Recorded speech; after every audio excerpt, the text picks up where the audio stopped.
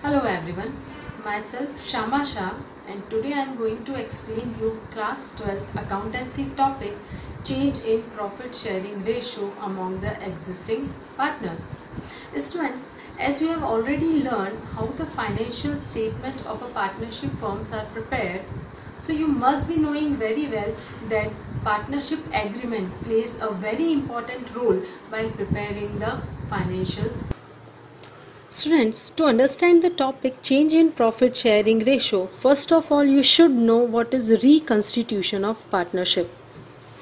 Reconstitution of a partnership is a situation when there is a change in the existing agreement of a partnership and all those conditions where existing agreements changes that particular situations are known as reconstitution of a partnership firm. In those situations, the firm continues in the business in the same way. And these are the following events where a partnership firm can get into reconstitution. First one is when there is a change in profit sharing ratio among the existing partners. Whenever there is an admission of a partner or partners. Third situation is when a partner retire from the firm Fourth situation is when there is a death of a partner. And fifth situation is whenever two or more firms get amalgamated. Now let's understand the topic change in profit sharing ratio with a simple example. Suppose there are three partners A, B and C and they are sharing their profit among themselves in the ratio 3 is to 2 is to 1. And now, due to some or the other reason, they have decided to change the profit sharing ratio as 1 is to 1 is to 1. This change in profit sharing ratio is known as change in profit sharing ratio among the existing partners. And whenever there is a change in profit sharing ratio, we need the following adjustment to be done in the partnership accounting. First one, we need to calculate sacrificing and gaining ratio. Thereafter, we need to treat the goodwill of the particular partnership firm. We also need to treat the accumulated profit and reserves present in the partnership firm. We also need to reevaluate assets and reassess the liability of the firm. And last one, we also need to adjust the capital of partners. So let's start with the first topic that is calculation of sacrificing and gaining ratio. Students, sacrificing ratio. The ratio in which the partners have agreed to sacrifice their share of profit in favor of other partner or partners is called sacrificing ratio. And the formula to calculate sacrificing ratio is their old ratio minus new ratio of each partner. Now what is gaining ratio?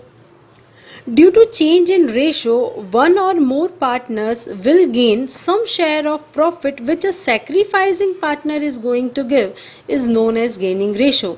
And the formula for gaining ratio is new ratio minus old ratio. Let's understand sacrificing and gaining ratio with a practical question. A, B and C were in a partnership sharing profits in the ratio of 4 is to 3 is to 1. The partners agreed to share future profits in the ratio of 5 is to 4 is to 3. Now calculate each partner's gain or sacrifice due to change in the ratio. So we can see from this question that the old ratio of the three partner is 4 is to 3 is to 1 and the new ratio of the partners are 5 is to 4 is to 3. Now when we will apply the formula of sacrificing ratio which is old ratio minus new ratio and when you will calculate for A, B and C you will see that old ratio minus new ratio will give you the answer 2 by 24 for A, 1 by 24 for B and minus 3 by 24 by for C. Now as A is having a positive value that means this partner is going to sacrifice. B is also having a positive ratio that means he is also going to sacrifice. And C is having a negative ratio that means the C is going to gain. Specifically note that whenever you are applying sacrificing ratio formula and the answer is positive, that means that particular partner is going to sacrifice. And if the answer is negative, that the particular partner is going to gain.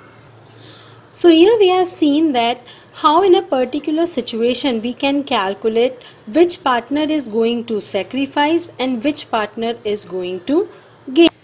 Students, just now we have seen that how sacrificing and gaining ratio of the partners can be calculated. Now coming to the second adjustment that need to be done at the time of change in profit sharing ratio and that is treatment of goodwill. Students, there can be two type of goodwill in the firm. One goodwill is known as old goodwill that is already present in the books of account like this. You have been given a balance sheet. There will be some values along with that and there will be the value of goodwill also. This goodwill which is already present in the balance sheet is known as old goodwill. And there can be a new goodwill that you need to calculate it al along with other values. Now, suppose there are three partners A, B and C as shown in the balance sheet and their profit sharing ratio is 3 is to 2 is to 1 and the goodwill present in the firm is 60,000 rupees. Now, this old goodwill as according to accounting standard 26 we cannot record self generated goodwill in the books of account so we need to write this goodwill in from the books of firm. So for this particular writing of the goodwill we need to pass a single journal entry and that will be so we need to pass a single journal entry for writing of this particular old goodwill and it will be A's capital account debit B's capital account debit C's capital account debit and as we need to write off the goodwill goodwill account need to be credited with the amount of 60,000 and this 60,000 amount will be divided among all the three partners in their profit sharing ratio which is 3 is to 2 is to 1 so in A's account 30,000 will be debited in B's account 20,000 will be debited and in C's account 10,000 will be debited. So we have seen just now that how old goodwill of the firm which is present in the books of partnership accounts are deal. Now we will see how the new goodwill of the firm will be treated at the, this particular situation. Students, whenever the partners decide to change their profit sharing ratio, then new goodwill need to be adjusted through partner's capital account or partner's current account. First, so first of all, the question arises how you will calculate the amount of goodwill.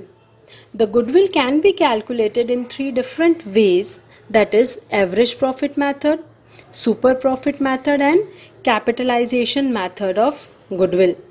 And the rule for treatment of new goodwill is debit the gaining partner and credit the sacrificing partner.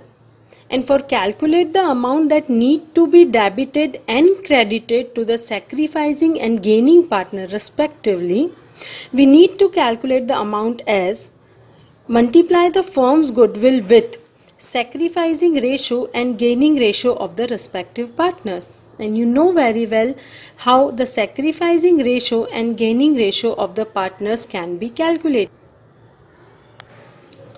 Let's understand the treatment of new goodwill with a example. Suppose there were three partners X, Y and Z and they were sharing their profit in the ratio 5 is to 4 is to 1 and agreed to share in future among themselves in the ratio 3 is to 3 is to 4 and goodwill of the firm is valued at 1 lakh rupees. And you have been told to pass a single journal entry to give the effect to the of goodwill. Now how you will calculate and how you will give the adjustment? First of all you need to calculate the sacrificing ratio of all the partners. So we need to apply the formula old ratio minus new ratio. And I have already written old ratios of all the partner and new ratio of all the partners. And when you will calculate this you will get x is going to have a ratio of 2 by 10 y is going to have a ratio of 1 by 10 and z is going to have a ratio of minus 3 by 10 and as I have already explained you that whenever the value is positive those partner are going to sacrifice. And the partner who is having a negative ratio that partner is going to gain due to change in profit sharing ratio. Now to calculate the amount of goodwill share of uh, uh, firm's goodwill multiply by sacrificing share so that will for x 20000 when you will calculate it for y it will be 10000 and for z we will get a value of minus 30000 as he is going to gain. And according to the rule we need to debit the gaining partner and we need to credit the sacrificing partners. So the, a single journal entry will be passed as Z capital account debit 30,000. X capital account will be credited with 20,000 and Y's capital account will be credited with 10,000 and the narration will be adjustment of goodwill.